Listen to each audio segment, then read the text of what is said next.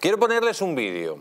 Un vídeo del señor Zapatero. ¿Se acuerdan cuando Zapatero dijo antes de la sección de 23J que iba a haber una sorpresa? Vamos a escucharlo. Ahora dice que va a haber una sorpresa para las elecciones gallegas. Escúchenlo. Ah, va a haber sorpresa. Vamos a dar la sorpresa. Va a ser presidente, José.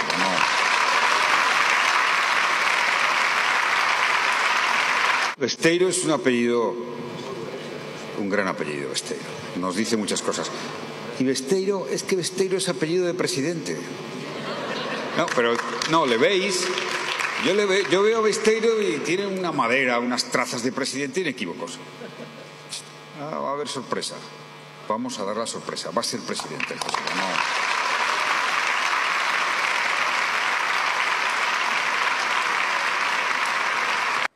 Pues amigos, la verdad que, bueno, pues una declaración de Zapatero que por cierto coincide con lo que pasó la última semana del 23J, pero hay otra cosa que ya nos pone en alerta máxima y son las encuestas de Tezano. Este hombre que hace unas encuestas que parecen encuestas que no tienen ningún sentido con la realidad, pero luego cuando llega a las elecciones se ajusta esa realidad.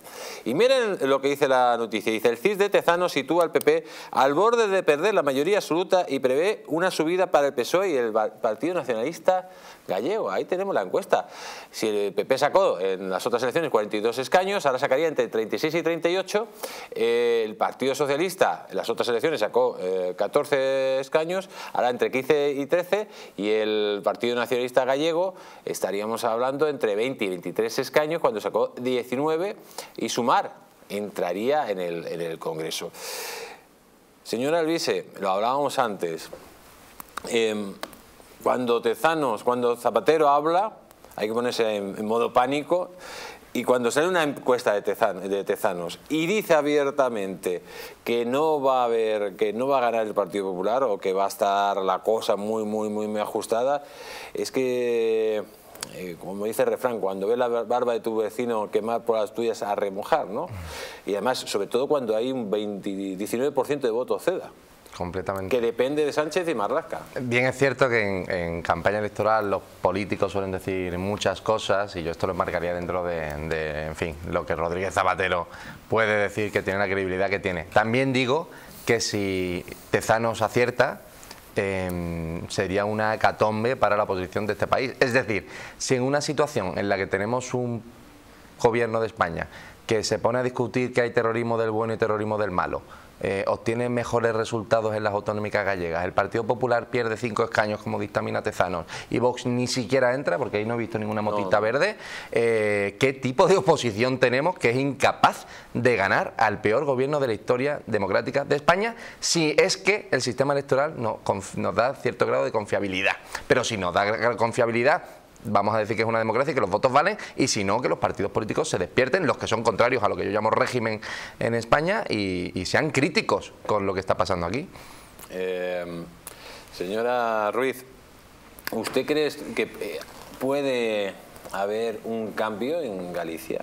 Puede haber un cambio en Galicia. Después de lo malo que hace el PSOE. Pero los datos que acabas de, pasar, que, son del CIS, están dentro de las horquillas, o sea, no hay grandes en ninguno de los partidos eh, que bajen tres, cuatro escaños, es dentro de lo normal. Ahora mismo hay una noticia que ha estado y que se supone que algo desgastará, que es eh, la contaminación por los pellets y la gestión del Partido Popular, y cuando hay algún tipo de noticias como esta, el desgaste se, se produce. Entiendo que también ha pillado esos, esos días. Las campañas eh, se hacen muy largas y pasan muchas cosas, pero no es nada extraño, estamos en campaña electoral, al que el señor Zapatero diga que, que puede haber un trasvase, ¿qué va a decir?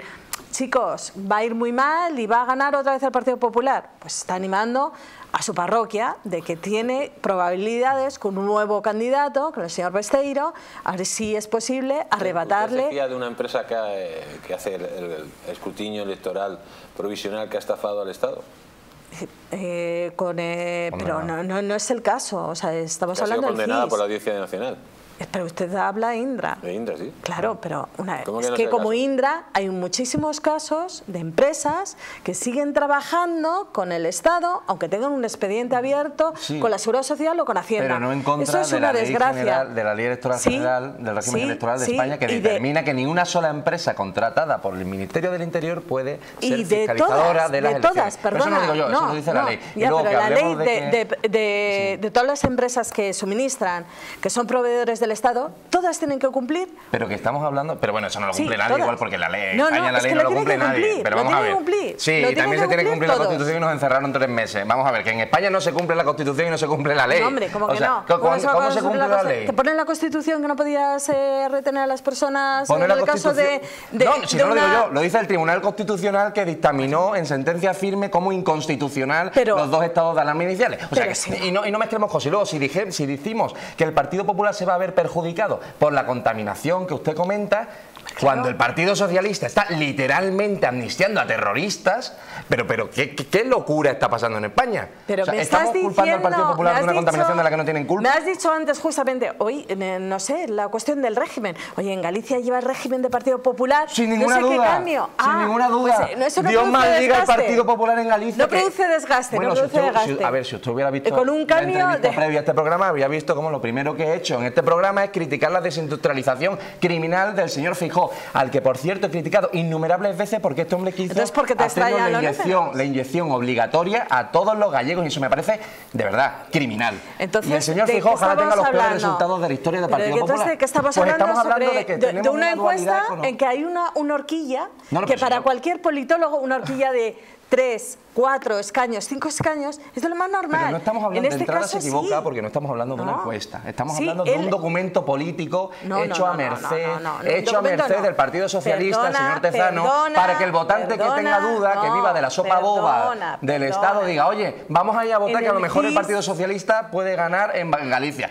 Quien se crea a día de No. hoy, en En 2024, el las CIS, encuestas del el CIS, CIS, yo me descojono. El CIS hace cocina como la mayoría de las eh, empresas Todas demoscópicas. las empresas porque demoscópicas. todas se tienen que tratar los datos, porque si no, no se entiende. La única encuesta que vale son las Y es la única empresa, Sí. la única que se puede gastar y elaborar esa, esa cantidad de datos, con esa cantidad de preguntas y de muestreo, que ninguna empresa privada se puede pagar.